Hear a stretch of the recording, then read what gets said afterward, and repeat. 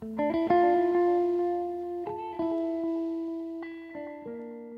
starting with a package of Oreos. Firstly, slide the packaging off. Then, we're to take the Oreos and put them in a bag. Oh my god, I'm so sorry. My sexy is definitely not coming back. Um, we're just gonna do this in a normal voice going forward. Make sure that the bag that you use is a good freezer style bag from Ziploc or something similar. You need the thicker plastic so that the Oreos don't break through them when you start crushing them.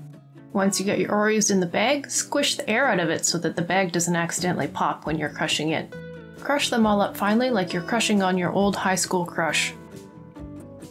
Next, in a bowl, we're going to pour half a cup of melted butter. Butter is my favorite food. Pour in your bag of crushed Oreos and mix them thoroughly. I suppose you could say you need to make your Oreos wet.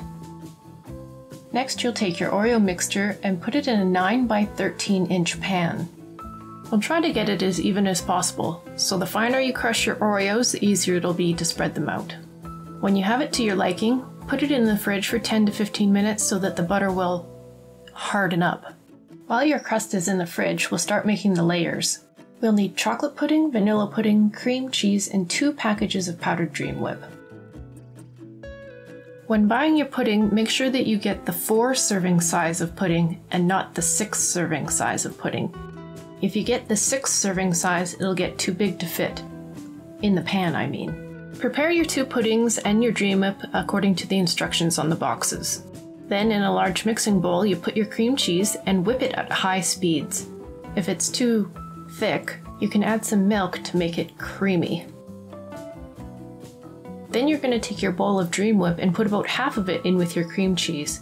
When you mix this together, just fold it gently together with a spatula. Retrieve your crust from the fridge and then spread your cream cheese Dream Whip mixture evenly over the surface.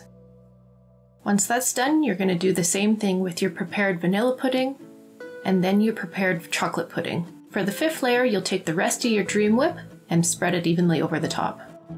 And finally, you can decorate the top of your pudding however you like. I chose to use mini chocolate chips, but you can also drizzle caramel or chocolate sauce. I know some of you be out here like Denethor with your chocolate sauce.